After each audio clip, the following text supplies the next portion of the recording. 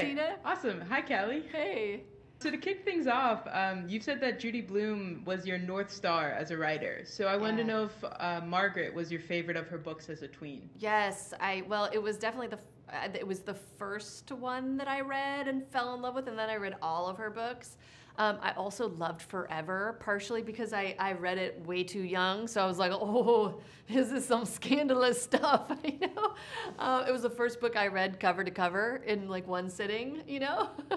um, so uh, yeah, I love her in general. I, I've loved her for years. I was talking to my aunt um, about it because she remembers reading Are You There, God It's Me, Margaret when she was a kid. And the one thing that stood out to her all these years later was how the teacher mispronounces menstruation or Yes. menstruation. um, so I was wondering if there was another similarly very small detail that after all these years, you were like, this has to be in the movie.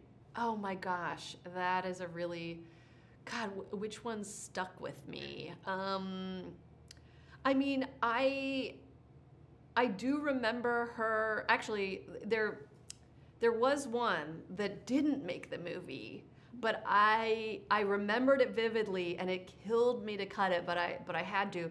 But there's a scene where Margaret stuffs her bra with cotton balls.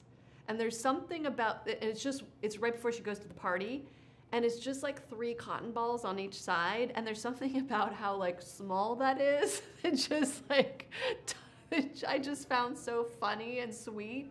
You know that she just wanted Yeah. just that much, like at least something, you know.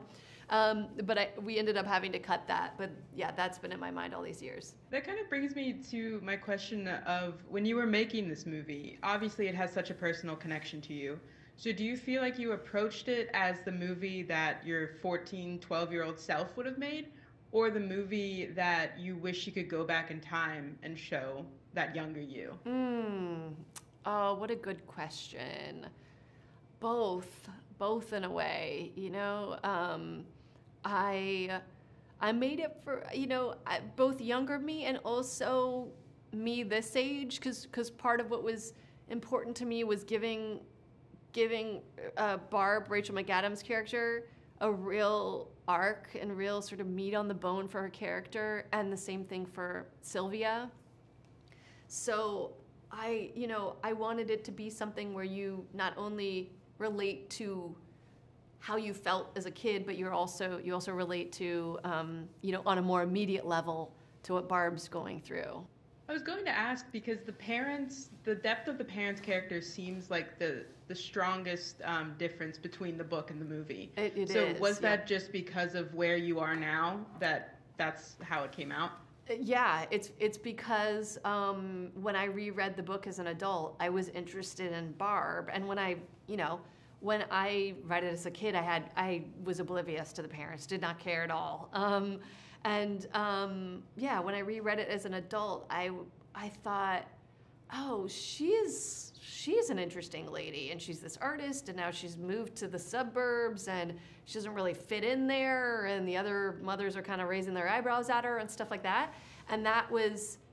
It was interesting to me to think about what like what would happen if we went deeper on that story, and um, yeah, So I read Are You There, God It's Me, Margaret for the first time this week. i had never read it as a kid. Oh my gosh, that's great. but I was immediately struck by how it felt like it was something that I could have just picked up from a modern uh, author today. yes. So what do you think it is about Judy Blume's writing that remains so timeless? And was there ever a moment where you thought you would take this story to the 21st century? Yeah, I well, f- first of all, I think she wrote in a way that was just so honest and so and so specific too. The details are so right and so real. That's what makes it feel timeless and, and universal. And also, I think she captures the feelings of this age like perfectly. That is it. That is all the complicated feelings like encapsulated in one book. Did you ever think about bringing Margaret to the world of TikTok and iPhones or no? no, never, never, never, never, never. Oh God, think about how oh, that it just makes me sad to even think about it. Yeah. um, so The Edge of Seventeen was another film that I loved, and I really feel like you don't get Nadine without somebody who grew up on um, Margaret. Do you feel like they're kindred spirits in some way? You know, I think I do. I do. I mean, I on some level they're both they're both dealing with insecurities and like self-consciousness you mm-hmm. know each in their own individual ways um, but there is that common thread so what was it about abby's audition that screamed margaret to you was it the margaret that you pictured when you were younger or just a brand new version of her you know it's i oddly enough i never pictured margaret i could just sort of feel her and i think on some level um, I think when I read the story, I projected myself on her, you know. So I, I yeah. Um, but um, when Abby when Abby walked in and auditioned, it was just like she just blew all her socks off. She was so funny. Um, she uh, there was something about her where you just you just root for her, you know. You just like you just want her to be okay, you know. You don't want anything bad to happen to her, and um, and she also had a really incredible ability at her age to just think on her feet and improvise. And I like to do a lot of that um, on set I, uh, to keep the scene fresh and to keep everybody really present and alive.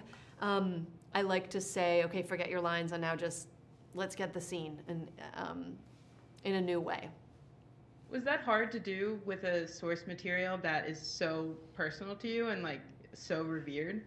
Uh, Yes and no, because I think if you would hear the exact line, but if you heard it in a way that felt stale, that would be much worse than hearing uh, an an alternate version that just feels like it rolls off somebody's tongue and it's real. So, what was it like to send that first email to Judy Blume? Were you just terrified and just hoping for the best, or can you talk me through those emotions that led you through that? well, first of all, I think there's no email I've ever like written, wrote and rewrote more times, you know, and was like, "Is it perfect?" Um, than that one. And then when I sent it, I honestly was like, I think it's probably going into a black hole. I mean, so many people write her emails, like, there's no way she's going to write back. Um, but then the next day, I had an email from her in my inbox, and I will never forget how weird it was to see the name Judy Blume in my like Gmail inbox. I was like, what? This is nuts. This is just nuts. Um, so yeah, and, and then now to have worked with her for a number of years, it's still. I can't, it's like my brain can't quite process it. Like 11 year old me and me now, it's like I can't, I can't believe, I can't believe it. It's just yeah. wild. That's incredible. Um, speaking of 11 year old you, is there one piece of information or just one reassurance that you wish that you could go back and, and give to her as she's sitting there reading this book? Uh, I think I just, w- I, I would want, I would want to tell her it's all going to be okay and you're not the only one and it'll get better and one day you'll laugh, you know? yeah. yeah. Um, well, thank you so much. Those were all my questions. It's a sweet, fantastic film, and I can't wait for everyone to see it. Oh, thank you so much. Thank, thank you so much. So appreciate it.